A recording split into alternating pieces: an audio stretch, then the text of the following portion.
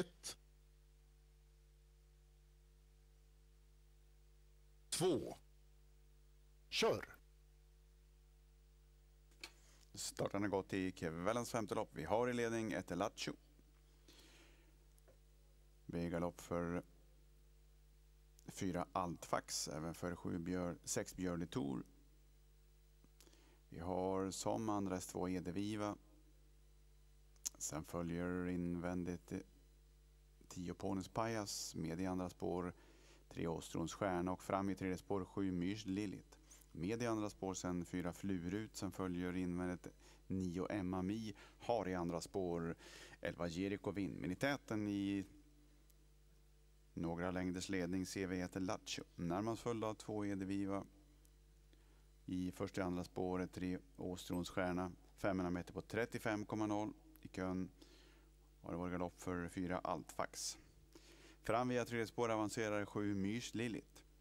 Vi ser dem här med ett varv till mål. Ett eh, Lattjo nu med sju Myrs Lillit i andra spår. Vi har sen ryck på ledaren två Edeviva i andra paret utvändigt följer tre Åstrons Stjärna. I det tredje paret invändigt ser vi tio Ponys Pajas.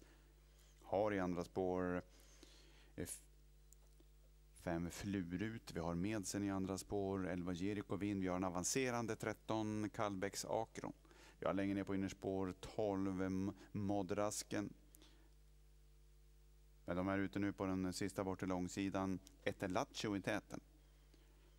Kommer upp till varvning, ett varv som passeras på 32,4. Har nu mindre än 600 meter till mål, närmast följd av sju Myrs Lillit. Sen följer två Edeviva och med som tredje häst. Fjärde häst har vi tio Polis Pajas.